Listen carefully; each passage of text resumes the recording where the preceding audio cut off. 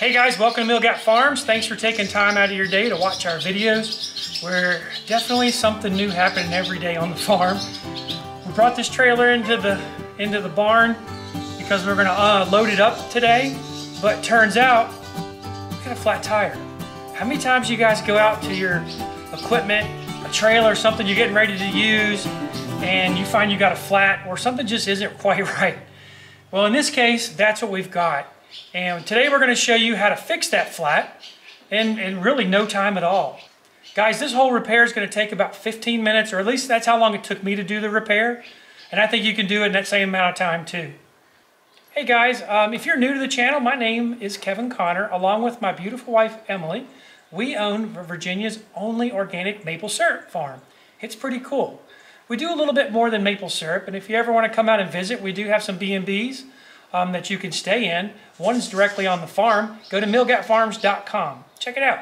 So if you guys like what you're seeing, hey, be sure to give us a thumbs up. We appreciate it. And we definitely appreciate the time that you guys give us watching our crazy videos. So come along. Let's see if we can get this thing repaired in short order.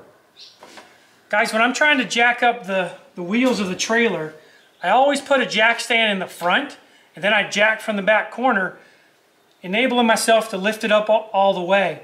If you just put a jack stand here and try to lift this trailer up, it's not going to go. The, the wheels are going to relax and one wheel is going to stay on the ground. This way I can get both of the wheels off the ground and remove the tire.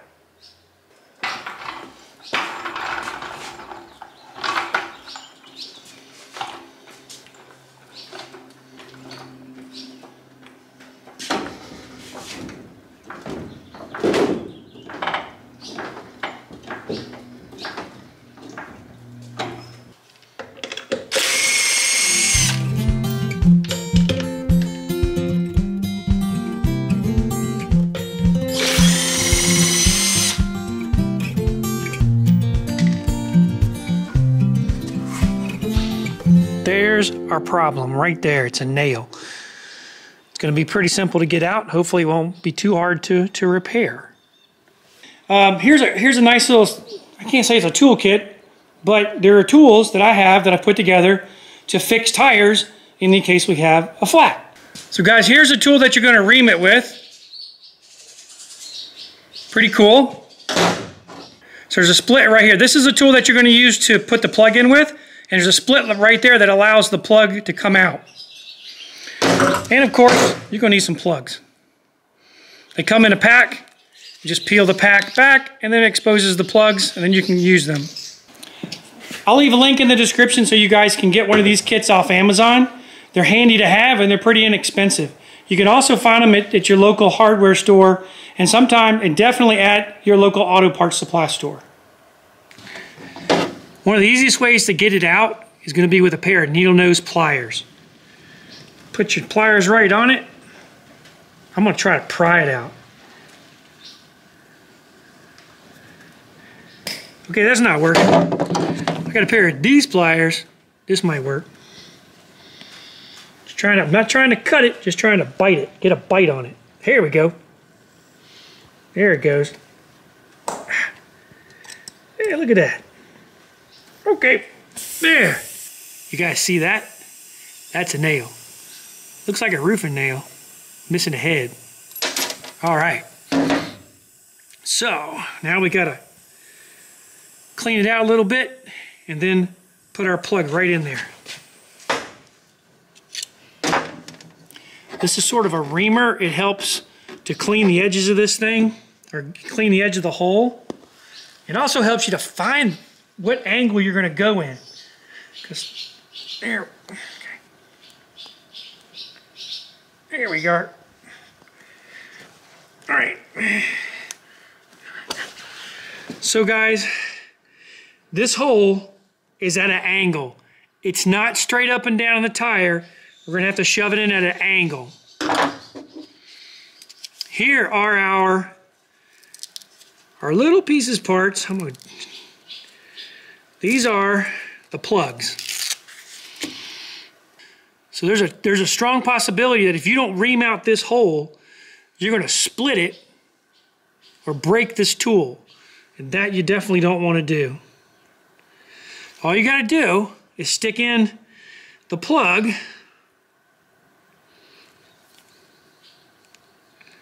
Here we go.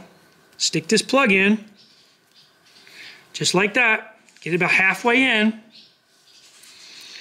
Now the hard part. You got to twist and work it right into that hole. And you're pushing down a little twist. Remember, you're at an angle on this hole.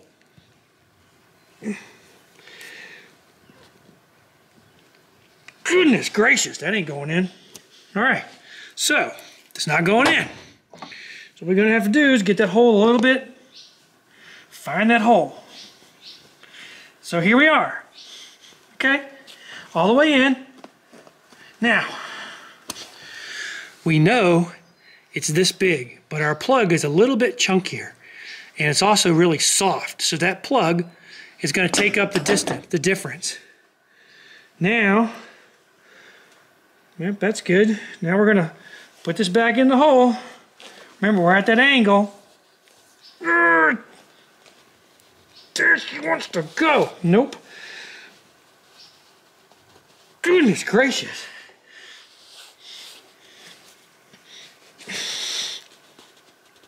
Goodness gracious. There she goes. All right. Ah, that was hard. So here's a trick I learned a long time ago. Before you pull this thing out, make sure you twist it. Put a couple twists on it, okay? What that's gonna do is create a knot on the other side. So when you get ready to pull, pull quickly, like that. Now your plug is in there, not coming out. Next thing we're gonna do is we're gonna pump up our tire and make sure we don't have any air leaks around this plug. This is our digital tire pressure gauge. And anytime you're going to add air to your tires, be sure to check the tire itself to make sure that you're going to put the proper amount in. If you're doing a trailer, you want to make sure that all four tires have the same pressure in it before you travel, uh, for certain. Um, if you're doing a car or a truck or something like that, you can find the tire pressure information inside the driver's door jamb or the opening of the dark driver's door side. It'll tell you what the front pressure is and it'll tell you what the rear pressure is going to be as well. In this case, this tire tells us that we need 80 psi cold in it. So we're going to put 80 psi in this one and we're going to check that one as well.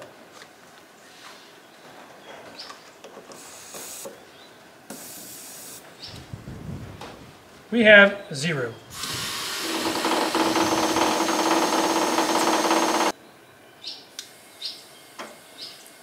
Our little pancake compressor, not going to do it. We're going to need to get the bigger compressor or fill that pancake compressor up a couple times. We got the bigger compressor going.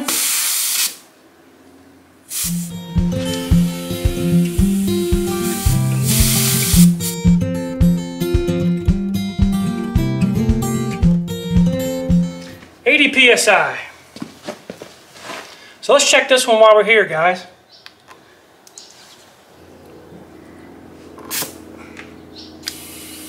70 psi. We need to add a little bit of air.